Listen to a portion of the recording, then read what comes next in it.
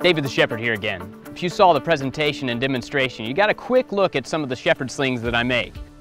This leather pouch one is very popular. Just start with a leather pouch and then I go back and weave the cords. This is made from jute twine. It has a very soft feel on the hands. Some people think David might have used one that was entirely made from a woven pouch, like this one you see here. I braid the entire shepherd sling, then I go back and I weave the pouch into it. But if I wouldn't weave the pouch into it, that's actually another type of shepherd sling, the split pouch one. The split pouch one that you see here, you just rest the rock right in between the straps. All of these shepherd slings work exactly the same way. Some of these are made from hemp though, which is a little bit heavier material to use on the hand. We don't know exactly, of course, what David might have used. I make a lot more of these out of paracord and leather. Uh, paracord is short for parachute cord, right?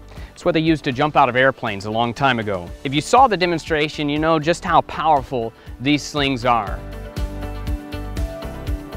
You start with a loop, you put that on your middle finger. Hold on to the knot between your thumb and your forefinger. All you have to do is let completely go of the knot and the stone will come out of the pouch. You're going to only swing it around three times and then let go of the knot at the bottom of the throw, very similar to bowling. One, two, three.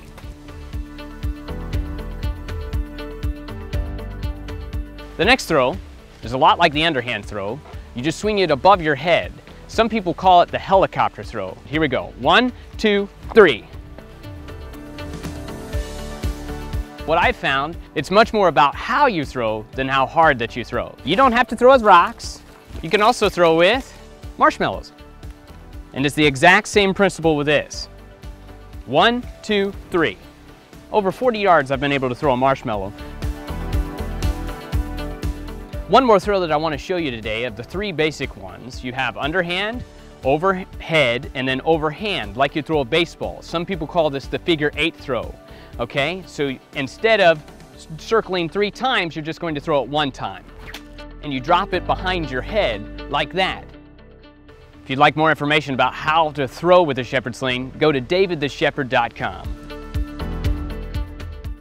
David would have used a sheep pen very similar to this one that I'm standing behind at the Great Passion Play on the Holy Land Tour. This site is open year-round. When I'm talking about the sheep pen, this is what I'm talking about. It has high walls and only one entrance. And uh, at that entrance, of course, the shepherd would stay all night. And when Jesus says he is the good shepherd and that he stands at the gate to the sheep pen, there's no other way to enter in, that's what he's talking about. Oftentimes what they would do is they would stack thorns and briars above the wall in order for predators not to be able to just jump across and into the sheep pen where the sheep were kept. This is a great place to, to see the Bible come to life at the Great Passion Play in Eureka Springs. If you have more questions about the types of shepherd slings that are out there or about the 25 different designs that I make and carry in my online store, go to davidtheshepherd.com and I'll be happy to answer any questions you might have.